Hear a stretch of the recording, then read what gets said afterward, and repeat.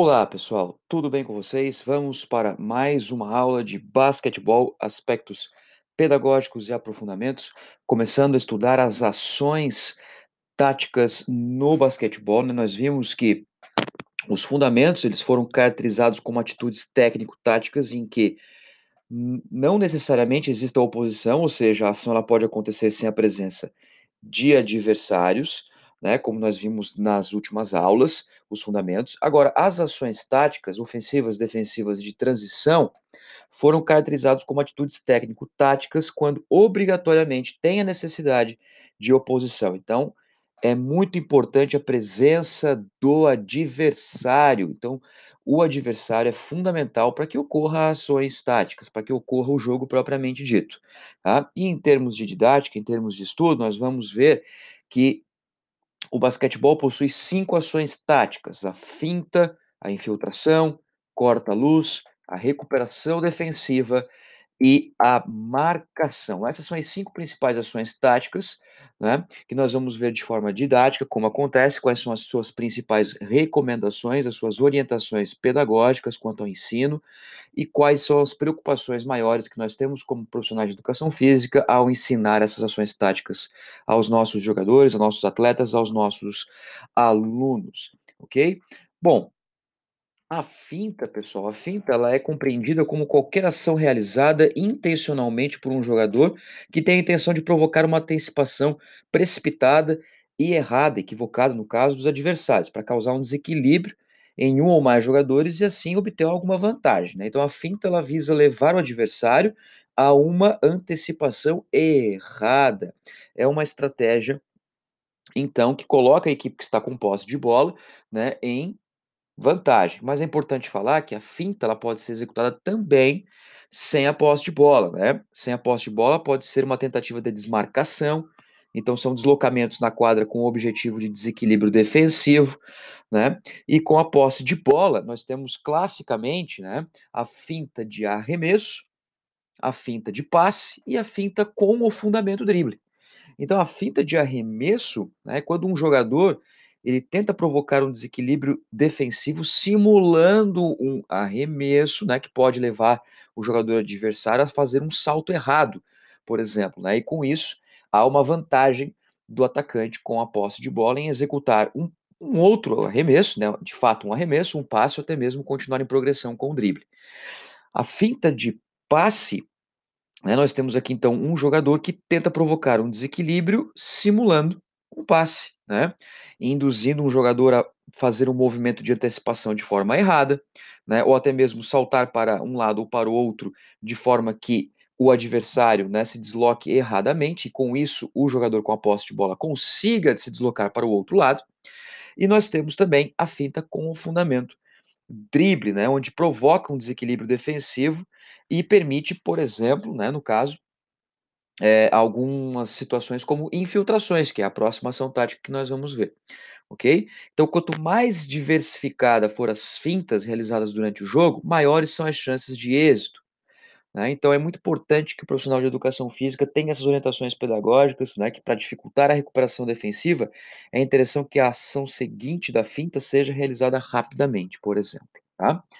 A infiltração, ela é entendida como uma ação de cortar, que nós colocamos entre parênteses, entre aspas aí, na verdade, né, de cortar a defesa em direção à cesta adversário, na tentativa de receber ou estar com a posse de bola numa posição favorável, seja para causar um desequilíbrio no sistema defensivo, seja para conseguir uma finalização numa condição próxima à cesta. Então a filtração também pode acontecer com ou sem a posse de bola, né? E a infiltração tem a proposta de ter um posicionamento que ofereça perigo ao adversário, né? Então, quando o atacante consegue finalizar próximo à cesta, uma situação de vantagem ofensiva, muitas vezes caracterizada pela ausência ou desequilíbrio de oposição, né? E ainda é interessante que, como propostas pedagógicas, o profissional de educação física faça, por exemplo, vivências que estimulem principalmente a tomada de decisão, né? A autonomia dos praticantes, ou seja, né, a intenção de sempre atacar o adversário no sentido de agressividade entre aspas, né, agressividade tática e não agressividade de violência, tá, pessoal? Só para deixar bem claro. E ainda, né, a questão de pedir a bola. Porque muitas vezes o jogador tem condições de fazer uma infiltração, está livre de marcação e ele não tem a autonomia para pedir a bola do seu colega de equipe para tentar fazer, por exemplo, uma bandeja, que é muito comum em situações de infiltração, que finaliza-se com a bandeja ou arremessos curtos, por exemplo, próximo à cesta. Ok? O corta-luz, pessoal, é uma ação ofensiva tá? que o jogador se posiciona na quadra e por meio de um bloqueio legal, é um bloqueio permitido pela regra, desde que ele esteja né, estático, que ele toque o jogador mais de forma onde ele já se posicionou, onde o corpo está parado no solo, com a intenção de dificultar, retardar uma ação adversária. Né? Então, o corta-luz é muito utilizado hoje no basquetebol, pode ser utilizado mais de um corta-luz ao mesmo tempo, pode ser executado um corta-luz justamente no jogador, com a intenção do jogador que está com a posse de bola ter uma vantagem, ou pode ser executado um corta-luz longe do jogador que está driblando a bola, para que haja uma vantagem posterior daquele jogador que está com a posse de bola. Tá? O corpo, né, como orientações pedagógicas, ou seja, no ensino do corta-luz, nas vivências do corta-luz, é importante né, que o jogador que seja responsável pelo bloqueio ou seja, o jogador que faz o contato do corta-luz tem que se manter equilibrado, tem que se manter com os, ambos pés no solo para se caracterizar como defesa legal, como posicionamento legal de defesa, com a intenção de não provocar uma falta de ataque. Porque se a arbitragem interpretar como um corta-luz ilegal, é uma falta de ataque e a bola então passa para a equipe adversária. Por isso, o profissional de educação física tem que saber, por exemplo, os princípios de cilindro, os princípios de posicionamento, os princípios de posição legal corporal para que seja utilizado o corta-luz de forma devida, ok? Nós temos também a marcação. A marcação é uma ação tática, né? E, inclusive, a marcação ela vai depois gerar, junto com a recuperação defensiva, os sistemas de jogo. Então, a marcação é uma ação coletiva ou individual que é organizada na intenção de dificultar ou impedir a ação ofensiva da equipe adversária. Tá? Então, nós temos aí as ações individuais, 1 versus 1, nós temos as ações grupais, que são 2 versus 2, 3 versus 3, e as ações coletivas, que são as ações de 5 versus 5. Né? Então, nós temos que a marcação ela tem a proposta de dificultar a progressão, dificultar o ataque, dificultar cestas adversárias, né, os passes, e fazer com que a equipe seja induzida aos erros, né? Ou em caso de manutenção da posse de bola da equipe adversária, mas que ela, por exemplo, não consiga executar um ataque dentro das regras, que são, por exemplo, 24 segundos quando a troca de posse é efetuada em quadra. Então, se uma equipe não consegue organizar um ataque ou uma tentativa em 24 segundos, a equipe perde a posse de bola. E isso é uma boa marcação, por exemplo, são princípios de boa marcação, tá? E as vivências para marcação como propostas pedagógicas, é importante que o profissional de educação física coloque vivências de vantagem e desvantagem numérica, né? Ou seja, 1 versus 1, 2 versus 1, 3 versus 2, 4 versus 3, 5 versus 4 e assim sucessivamente, né?